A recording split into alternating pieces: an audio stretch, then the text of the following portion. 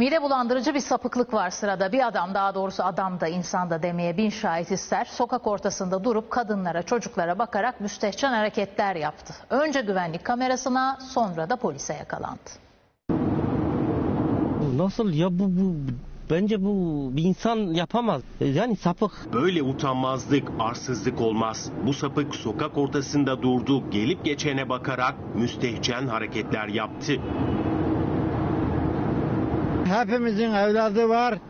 Böyle bir insanı yaşatmak bile doğru değil şu İstanbul'da. Görüntü Bahçeli Evler'den akıl almaz olay dün öğle saatlerinde yaşandı.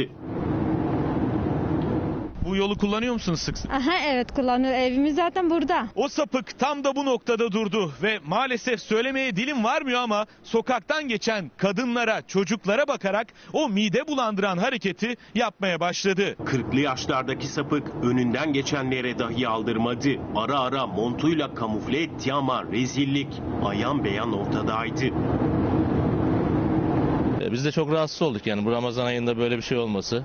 Bize tam e, mahallemizde evimizin etrafında olayın cereyan etmesi bizi çok rahatsız etti. Sokak ortasındaki o iğrençliğe dakikalarca devam etti. Ama bu sırada yandaki iş yerinin güvenlik görevlisi hareketlerinden şüphelendi. Tam da bu noktayı gören güvenlik kamerasını açtı, zoom yaptı, gördüğüne inanamadı. beyinli bir insan yapmaz ki onu. Beyinsiz bir insan yapar. Yani kendini bilen, çoluğu çocuğunu, kızı, ailesi, namusu varsa namusunu düşünen bir insan yapmaz bunu. Namussuz bir insan yapar. Hemen polis çağrıldı, o sapık gözaltına alındı. Burası bir site, aile binası zaten. Hep aile, hep çocuklar. Hiç yabancı kimse yok.